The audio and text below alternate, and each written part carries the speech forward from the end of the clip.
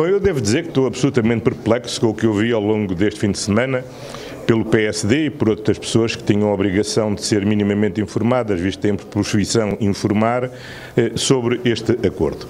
O PSD não me surpreende propriamente, porque o PSD há 15 anos foi contra as energias renováveis, ainda há 5 anos era contra a utilização do hidrogênio verde e, portanto, também é natural que esteja agora contra a existência de um corredor verde para a energia. Porquê é que eu estou perplexo? Bom, em primeiro lugar, ouvi dizer que foram abandonadas as interconexões elétricas. Ora, as interconexões elétricas não foram abandonadas. Eh, pelo contrário, a França até tem a vontade de as incrementar e já o ano passado, entre as empresas, eh, entre a França e a Espanha, tinha sido assinado o acordo para fazer avançar as duas interconexões elétricas e, portanto, não era isso que estava neste momento a bloquear as interconexões. O que estava a bloquear as interconexões era o que tinha a ver com o gasoduto. E é por isso que não se tratou agora do que já estava tratado, mas tratou-se agora do que estava por tratar. E o que é que estava por tratar? Quer em 2015, quer depois em 2018, até aqui numa cimeira em Lisboa, já com o Presidente Macron, já com o Presidente Sanchez e comigo próprio, tinha sido reafirmada a existência destas interconexões de gás.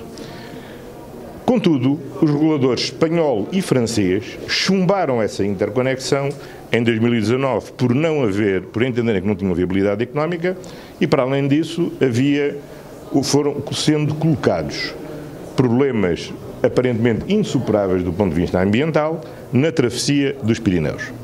O que é que se conseguiu agora desbloquear? Primeiro, acordo político entre os três países para que se estabeleça essa interconexão há muito adiada e que finalmente há acordo político para fazer avançar. O que é que permitiu fazer avançar? Duas coisas. Uma fundamental é que este corredor verde vai ser sobretudo vocacionado para o transporte de hidrogênio e outros gases renováveis e subsidiariamente e de um, e de um ponto de vista e transitoriamente também para o gás natural. Isto para Portugal é vantajoso ou inconveniente? é claramente vantajoso, por uma razão fundamental. Como todos sabemos, nós não produzimos gás, mas produzimos e podemos produzir hidrogênio verde e outros gases renováveis. Portanto, esta infraestrutura deixa de ser meramente para transportar o gás que seria, que seria que é descarregado em Sines ou noutro porto e injetado na rede para ser exportado, para passar também a servir a própria produção nacional. Portanto, é melhor para nós do que era a solução anterior.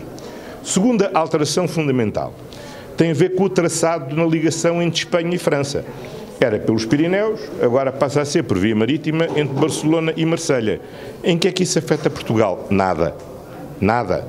O traçado de ligação entre Portugal e Espanha, a única alteração que tem não, tem, não é fruto deste acordo, mas do facto da avaliação ambiental que tinha sido feita do anterior traçado, ter um conjunto de recomendações que exigem a sua readaptação.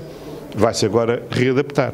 E o novo traçado, que ligará a mesma Celurico da, Celurico da Beira a Valprado, vai continuar a ter o mesmo, ou melhor, vai ter uma ligeira alteração de percurso, para, para respeitar a avaliação ambiental, mas vai ter exatamente o mesmo traçado.